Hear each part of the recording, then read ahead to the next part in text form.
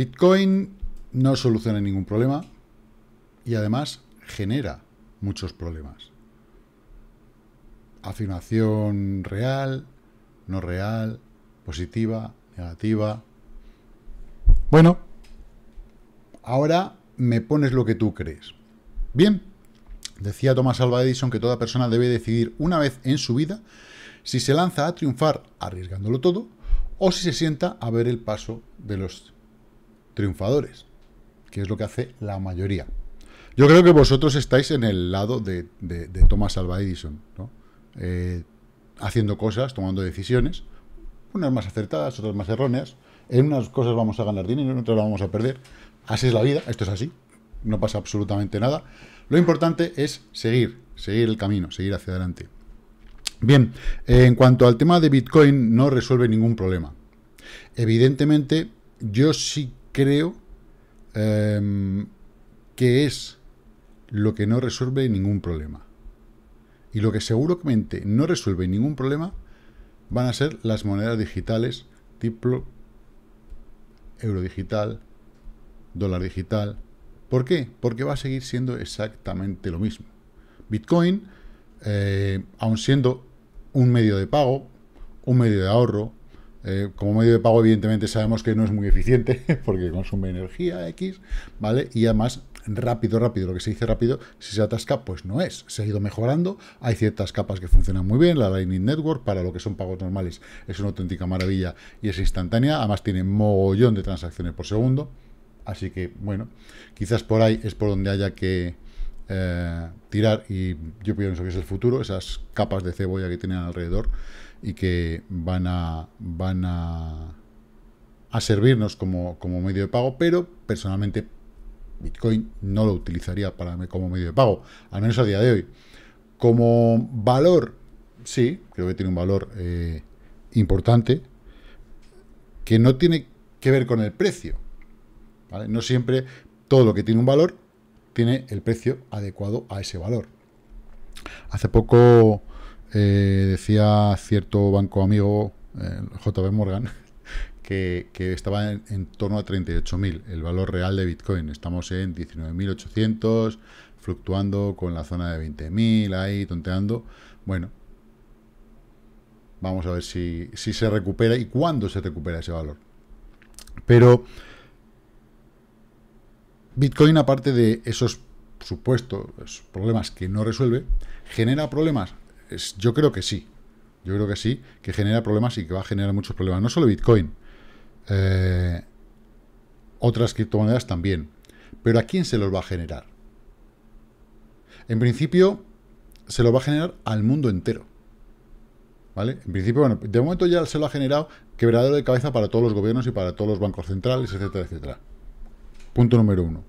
Punto número dos. Eh, a posteriori se lo, va a generar a mucha gente. ¿Por qué?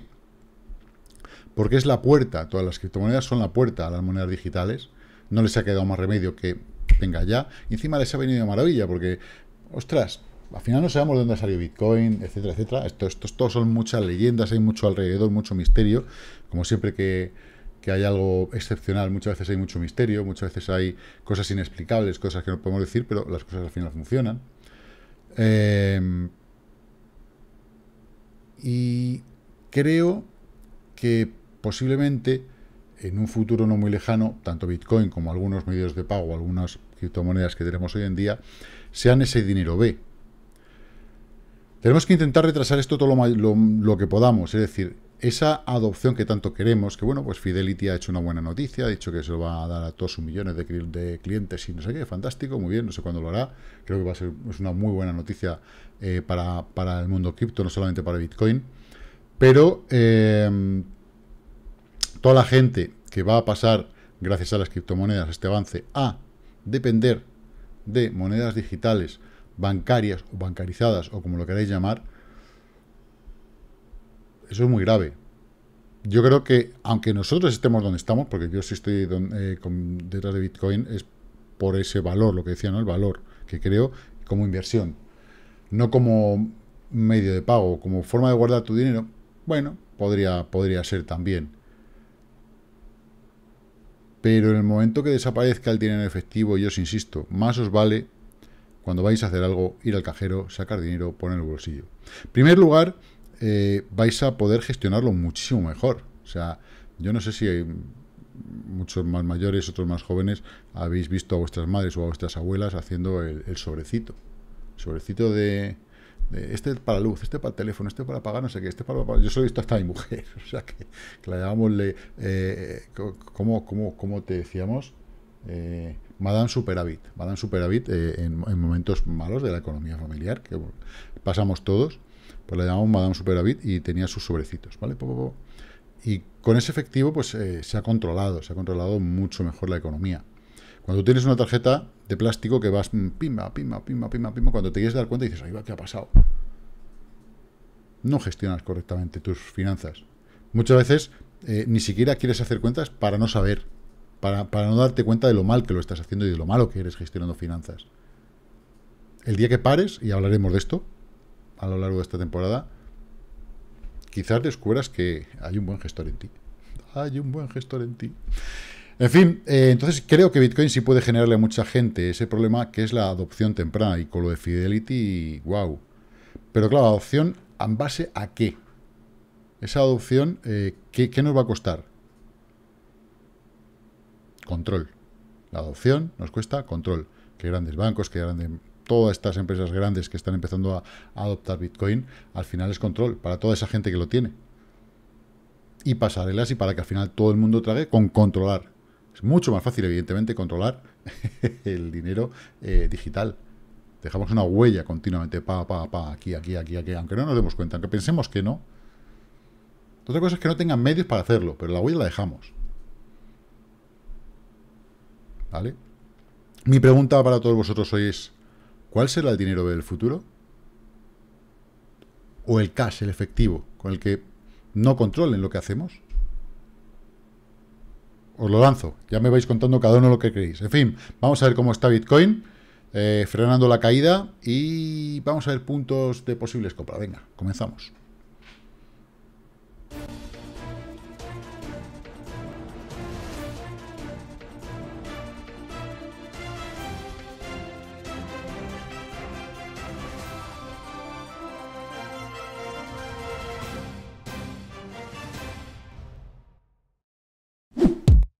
Suscríbete y dale a la campanita. Vas a tomar por culo. Bueno, sí, nos vamos a tomar por culo, pero un poquitito. Hoy, hoy un poquitito menos.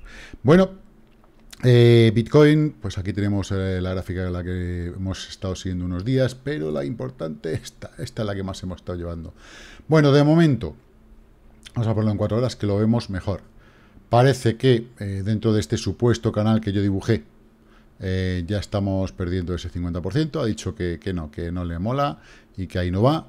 Ahora, de esta línea de tendencia antigua, pues es porque hay que, hay que, hay que mantenerlas muchas veces, ¿vale? Toque, toque, toque, toque. Bueno, pues ha dado un toquecito ahí, más o menos en zona, pero lo ha dado en zona de esta línea o lo ha dado en la zona de este, ahí. Esta zona en la que tuvimos 1, 2, 3, 4. No hemos llegado, señores, no hemos llegado. Pero bueno, de momento parece que quiere rebotar en cuatro horas. Eso es bueno. Yo de todavía, yo tengo una compra hecha y todavía no he hecho una segunda compra. ¿Por qué? Porque a Bitcoin le gustan zonas, le gustan ciertas zonas y hay que cumplir con ellas, ¿vale? Eh, por eso decíamos la parte de 18 y pico, 19 mm, y pico, vamos a verlo, ¿vale? Vamos a medir por qué. Mirar, de este movimiento que hemos hecho aquí, si yo me doy media vuelta, vamos a ir al 0.618, ¿vale? La línea morada perdón, dorada, estamos en lo torno a los 19.450, ¿vale? Más o menos. Ahora bien, esto es el movimiento pequeño, el, último movimiento, cosa que es muy importante y hay que darle una importancia eh, sustancial, evidentemente, ¿vale? Vamos a ponerle aquí un rayito mm, para marcar exactamente dónde nos ha dado. Y ahora vamos a ver lo mismo, pero del movimiento completo, es decir, de todo este movimiento ascendente que hicimos aquí, vamos a ponernos en diario para que sea más, menos engorroso, ¿vale? De todo este movimiento, ¿vale? ¿Dónde está ese punto? ¿Vale? Pues vamos a tirar un FIBO desde ese máximo que está ahí hasta este mínimo que dimos aquí en 17.700 y pico y lo tenemos prácticamente en línea, ¿vale? aquí lo tenemos. Estamos en 19.300 aproximadamente. Vamos a tirarle el rayito también. Vale, vamos a hacerlo exactamente igual. Ah. Ahí, bueno, más o menos. Vale, más o menos por tener una, una referencia, ¿vale? Vamos a quitar FIBO, vamos a volver a 4 horas. Y vemos que en ese margen, ese 0.618 que tanto le gusta a Bitcoin, fijaros que lo he tirado ahí en diario, qué mal, ¿eh?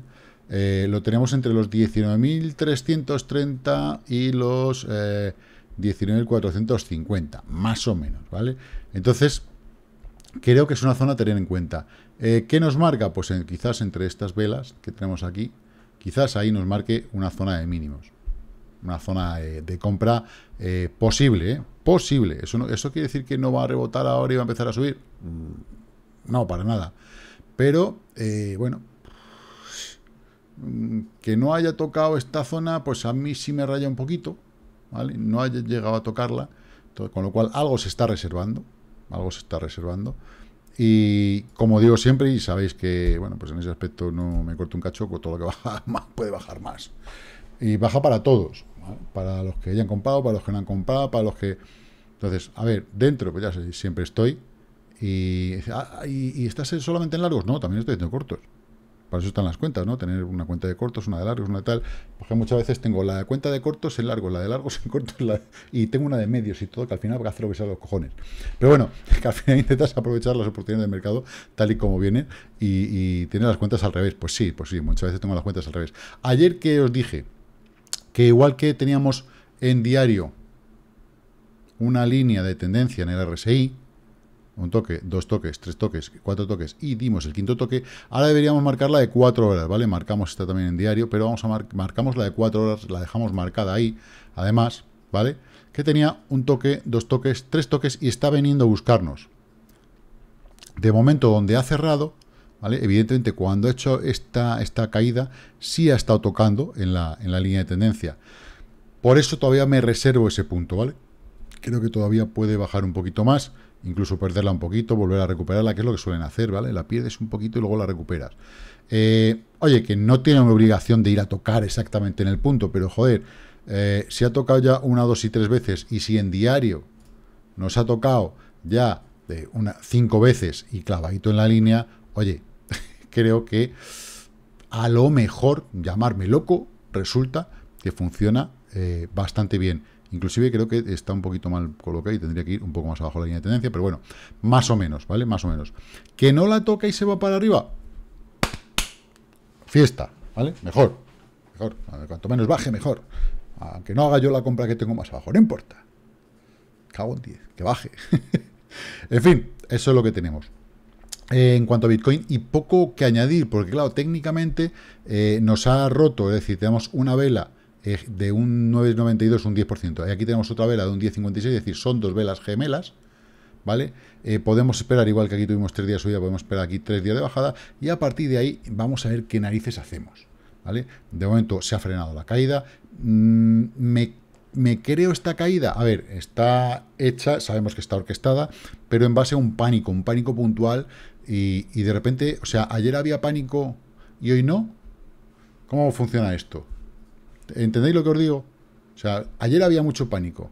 No, ayer lo que se pasa es que se aprovechó para hacer esos cortos, yo creo que muchos aprovechamos, evidentemente, eh, en rehacer posiciones, deshacer unas, quitar otras, ¿vale? Y hoy toca ese, ese muelle, y si mañana van más o menos bien los mercados, pues empezaremos a rebotar, ¿vale? Es lo que yo espero, ¿vale? Que eh, normalmente 24, 48, 72 horas como mucho, suele, suele tener ese pequeño rebote.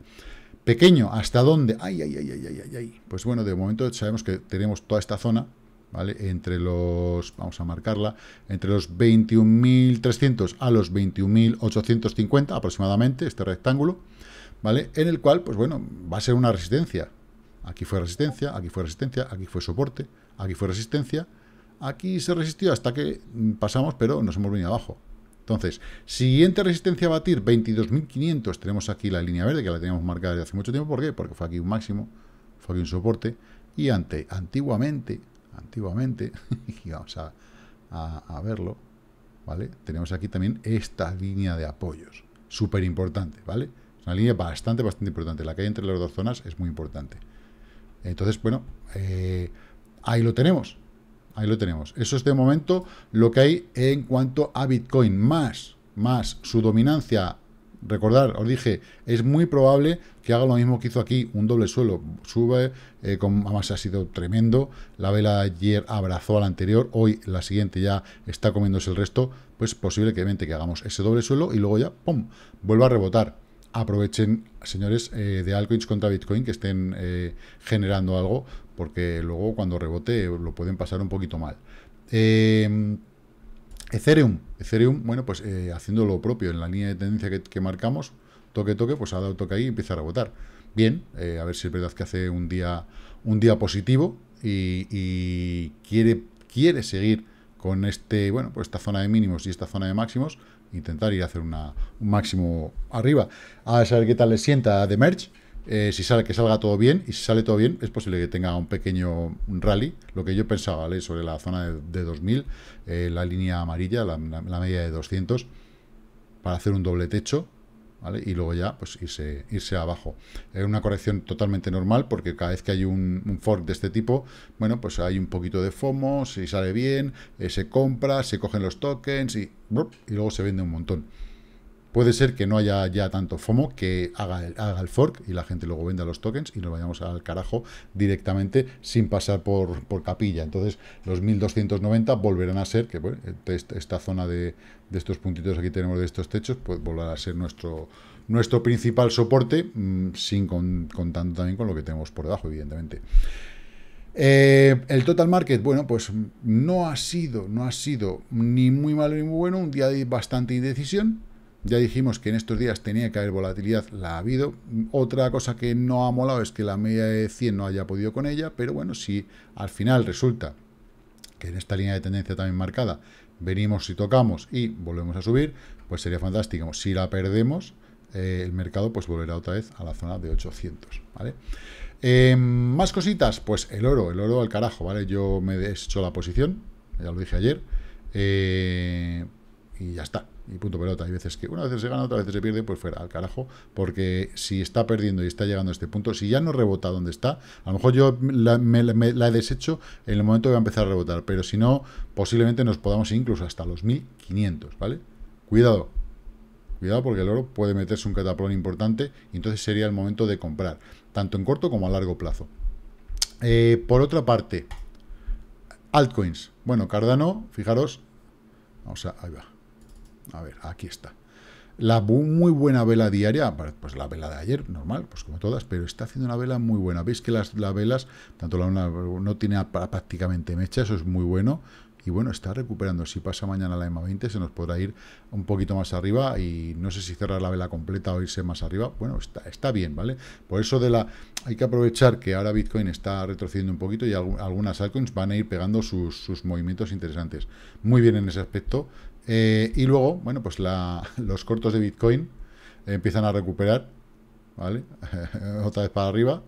Y bueno, vamos a ver qué, hacen. Al final se respetó muy bien el canal, dos días de subidas seguidas y bueno, abrazando esa zona. Vamos a ver si se va otra vez posiblemente, es bastante probable que o, se venga directamente a, a la zona de 50% del canal o a un doble suelo y luego vaya para arriba. Yo prefiero que haga un doble suelo y nos dé un poquito de respiro, tengamos ese rebote y luego ya si quieren que se vayan, vayan acumulando cortos, que también los acumularemos los demás. En fin, poco más que añadir, eh, no hay no hay tutía, es decir, por, mucho que a mí me gustase deciros más cosas, eh, no, no hay más que añadir. Eh, en cuanto a las mediciones antiguas que tengo, veis que ha ido justo, justito, se ha ido, ha ido a tocar la mecha en el punto exacto, con lo cual por eso, por eso digo que por ahí podemos rebotar. Eh, en cuanto a medias importantes, hay que pasar de 4 a la de 100. Eso, lo mismo que dije ayer, lo sigo diciendo hoy, está siendo una resistencia bastante importante. Y en diario, ¿vale? La EMA 20 es la que, bueno, pues hay que intentar recuperar, que está ahí con estos dobleces, estos pliegues tan, tan duros, eh, cosa que no es, no es, no es, bueno, cuando hay mucha volatilidad se suelen hacer estos ángulos tan rectos, eh, así que a ver si la recuperamos rápido y podemos tirar al alza. En cuanto a los que estáis en, en, futuros, o los que estamos en futuros, el RSI en una hora sí que ha hecho, no está haciendo una zona de doble suelo, tenemos ya un arquito hecho, con lo cual es muy probable que tengamos un rebote. De momento hay que ir a por la media de 200, aunque la, la, EMA 20 es la primera que tenemos que solventar, que es la que nos está mm, persiguiendo ahí en paralelo a los máximos del precio. En cuanto la rompamos, bueno, pues la media de 200 va a ser un, objetivo en la zona de 20.600, además está alcista, está, está subiendo, y bueno, si evitásemos ese cruce de la de 50 con la de 200, pues sería bastante mejor, y si fuéramos a por la de 50 o la de 100, mejor aún. Pero bueno, pasito a pasito, suave, suavecito, así que poco más, como digo, siempre invertir con mucha cautela, guardar un poquito de liquidez siempre por poquito que sea y que la paciencia os acompañe. Chao, chao.